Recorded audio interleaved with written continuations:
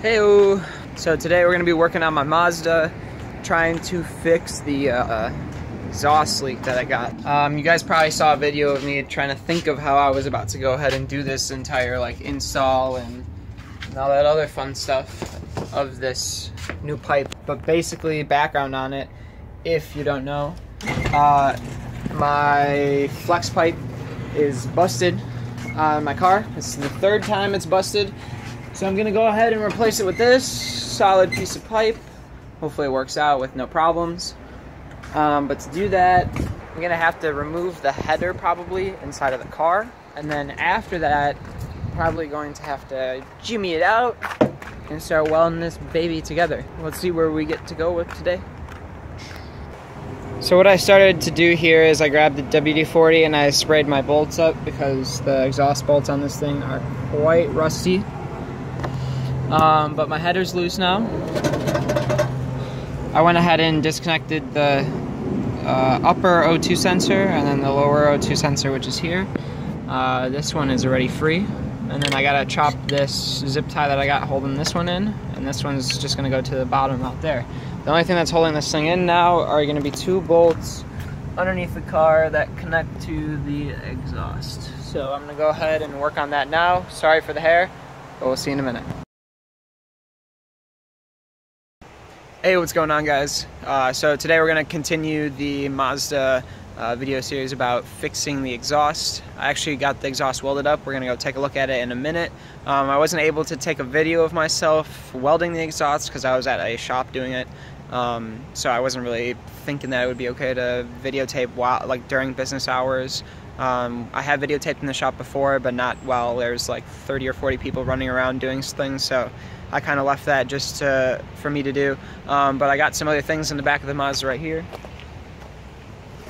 Got a new uh, exhaust gasket because I'm not trying to use the old one. Uh, and a new set of studs that come out of the engine. Uh, I had to get these six right here and then one little smaller one uh, just because there's seven on here. The old ones all look like that. Just super nasty. And uh, I wasn't trying to use them anymore. All my neighbors probably think I'm hella fucking weird when I sit here and videotape myself doing things. Alright, so here's the exhaust.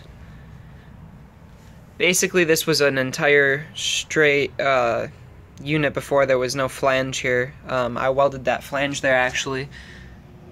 Not the best welds. This is like, uh, this is actually the first time I used a MIG uh, gas, you know, a regular MIG unit uh, that has the gas with it.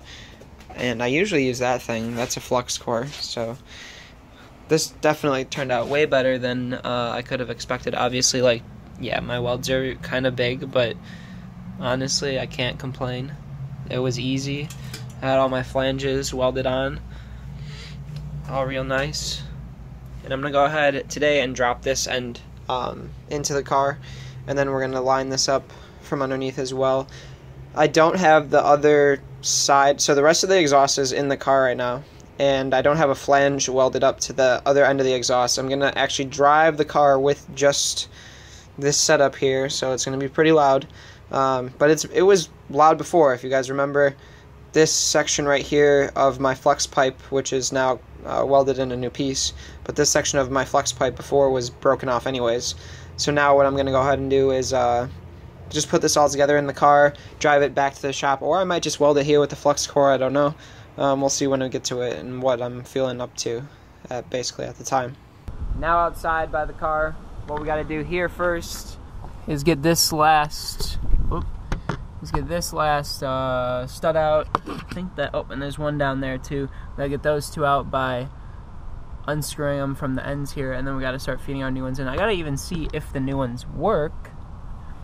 Um, and then we're gonna come over here and we're gonna clean this side of the engine up a bit because it's pretty nasty looking, low key. Uh, and then take it from there pretty much. Before we go ahead and do this removal, Let's see if these even fit. I hope they do. Yeah, that's going in. That's going in pretty well. There's no force behind it. I'm sure all of these need to be cleaned out. There's one. There's the other. There it is. The right tools are always the way to go. See, that's the end to it there. And that's what I use to take it out. Fits nice.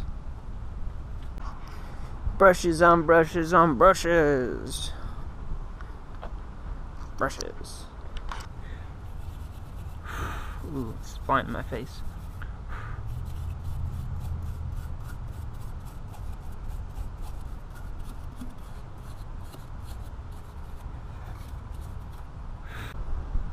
Alright, so I'm going to go ahead and put all of the studs back in the engine, and then I'm going to go ahead and place the gasket on there. And uh, right as I get the manifold on the car again, I'm going to go ahead and grab you guys, so I'll see you once I get to that point. Alright, so while you're going to go ahead and put your studs in, uh, if you don't have that torque on like the old ones do, this is how you're going to go ahead and do it. You're going to thread one nut all the way down pretty close to the end, maybe not all the way. You're going to follow up by another one right here. Tighten those two up. Those won't move too bad. Then take a third one and screw it on just like that. Like so. Thread lock.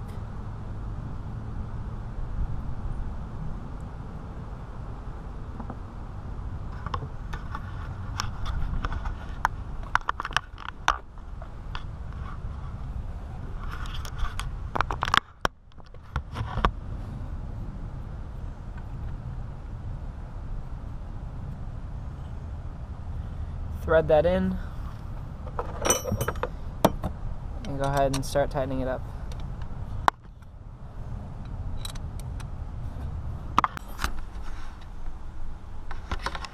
It worked.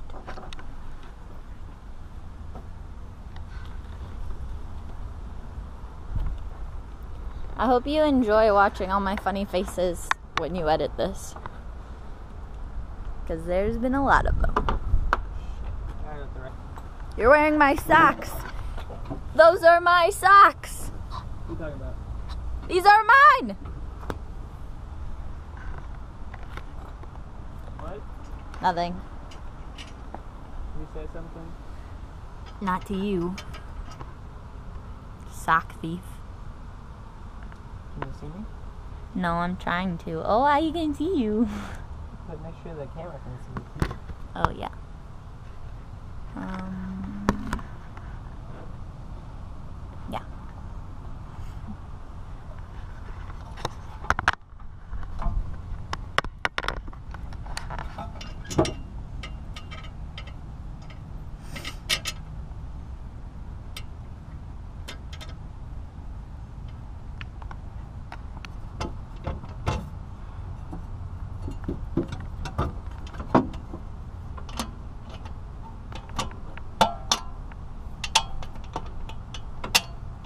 There you go.